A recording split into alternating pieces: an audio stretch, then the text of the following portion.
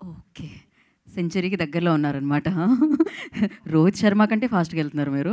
So మరి ఆలస్యం చేయకుండా ఇవాళ ఈ ఈవెంట్ని గ్రేస్ చేయడానికి ఇక్కడికి విచ్చేసిన ధీరజ్ గారిని మాట్లాడాల్సిందిగా కోరుకుంటున్నాము.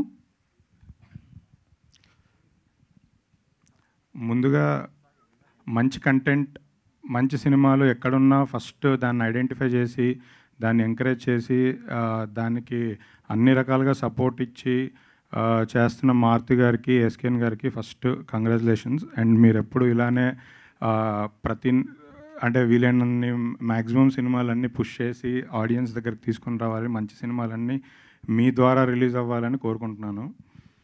తర్వాత ఎస్కేన్ గారితో పాటు ఈ సినిమా నేను కూడా చూశాను గట్టిగా చలం సినిమా.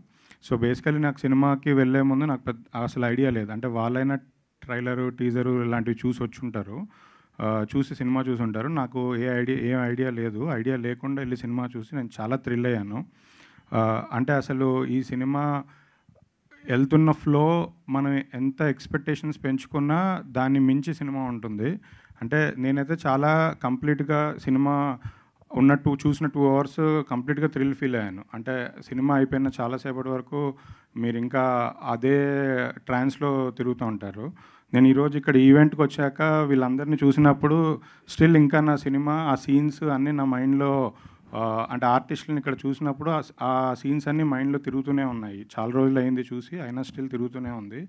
ఈ సినిమా గుర్తుండిపోయే సినిమా అందరికీ.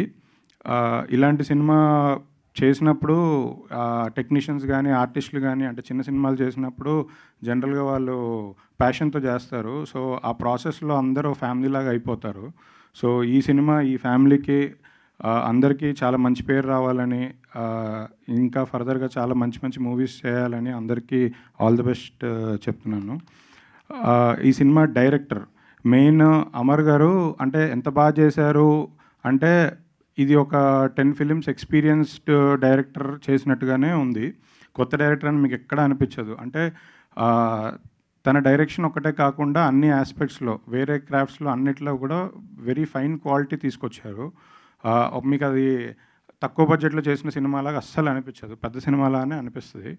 అలానే ఆర్టిస్టులు కూడా నిఖిల్ అంటే ఈ అబ్బాయి చాలా చించేశాడు చెప్పాలంటే పర్ఫార్మెన్స్తో అంటే తను సెవెంటీ మూవీస్ చేశాడని నాకు ఇప్పుడే తెలిసింది. సో తప్పలేదు. అంత అంటే అంత ఎక్స్పీరియన్స్ ఉన్నప్పుడు పర్ఫార్మెన్స్ ఇచ్చేస్తారు. బట్ హీరో హీరో అని లేపేకండి ఇంకా చాలా మంచి మంచి క్యారెక్టర్లు చేయాలి. చెడగొట్టకండి. తర్వాత అందరు అందరు ఆర్టిస్టులు బాగా చేశారు. ప్రభాకర్ గారు కూడా చాలా బాగా చేశారు. అంటే ఫాదర్ క్యారెక్టరు నిలిచిపోయే ఫాదర్ క్యారెక్టర్ ఆయన అన్నట్టు. మిగతా క్యాస్ట్ అండ్ క్రూ అందరికీ all the best and advance congratulations. Thank you మీకు కూడా కంగ్రాచులేషన్స్ సార్.